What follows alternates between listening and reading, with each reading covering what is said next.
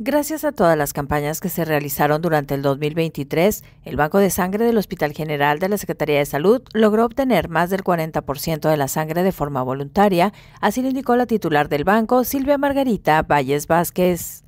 Las donaciones voluntarias, pudimos obtener más del 40% de donaciones voluntarias, pero esto fue debido a las campañas que estuvimos realizando en este año, que afortunadamente fueron un poco más que las que tuvimos el año pasado. El año pasado hicimos 18 campañas de donación, este año tuvimos 23 y también fue gracias a la apertura que nos dieron empresas a las cuales no habíamos asistido en años anteriores y se unieron ahora a hacerlo. Esperamos que el otro año lo sigan haciendo, podemos obtener más donaciones voluntarias.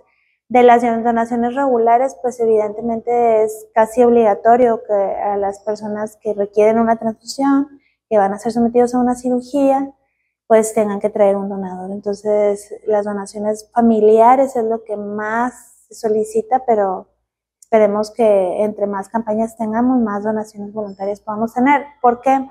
Porque la sangre está disponible, porque la sangre es más segura. Hemos visto que este tipo de donación voluntaria da menos positividad de marcadores infecciosos como hepatitis, VIH. En este año Tuvimos confirmados tres casos de hepatitis C de donadores, ocho casos de sífilis y tuvimos también un caso de Chagas que también puede ser transmisible por transfusión. Entonces, para poder disminuir esas positividades, pues es más la donación voluntaria lo que se pretende obtener. Noticieros Rancherita del Aire, siempre líderes.